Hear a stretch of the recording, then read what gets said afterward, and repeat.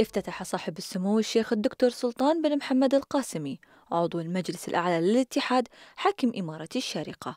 صباح اليوم الخميس مجمع القرآن الكريم بالشارقة بحضور سمو الشيخ سلطان بن محمد بن سلطان القاسمي ولي العهد نائب حاكم الشارقة وسمو الشيخ عبد الله بن سالم بن سلطان القاسمي نائب حاكم الشارقة.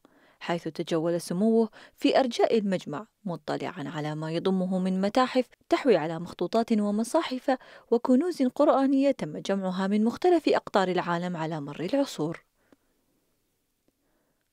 وقد استهل صاحب السمو الشيخ الدكتور سلطان بن محمد القاسمي جولته بزيارة متحف تاريخ كتابة المصحف الشريف الذي يتناول مسيرة تاريخ كتابة المصحف الشريف منذ بداية تدوين آيات القرآن الكريم في العصر النبوي حتى عصرنا الحديث.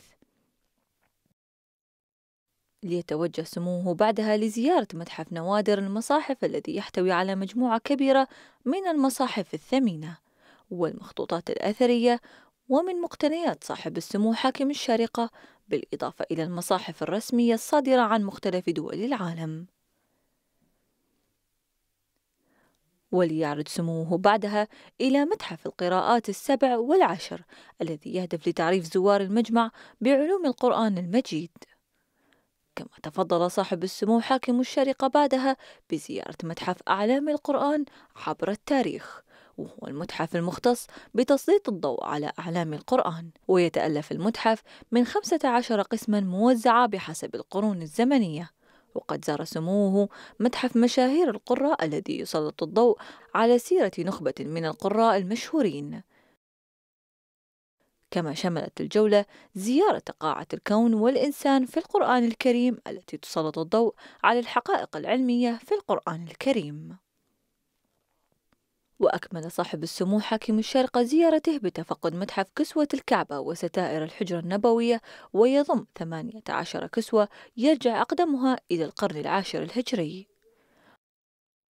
وتوقف صاحب السمو حاكم الشارقة في المكتبة القرآنية العلمية وهي مكتبة متخصصة تضم أمهات كتب التفسير والقراءات وما يتصل بهما من علوم القرآن الكريم والعلوم الشرعية.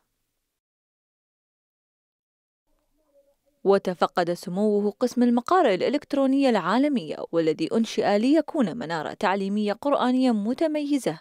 وقد تفضل صاحب السمو الشيخ الدكتور سلطان بن محمد القاسمي بتوقيع عشر شهادات ختم القرآن الكريم بالقراءات العشر عبر المقارئ الإلكترونية العالمية بمجمع القرآن الكريم بالشارقة والتي تمنح لمن يتم ختم القرآن الكريم لأي من القراءات.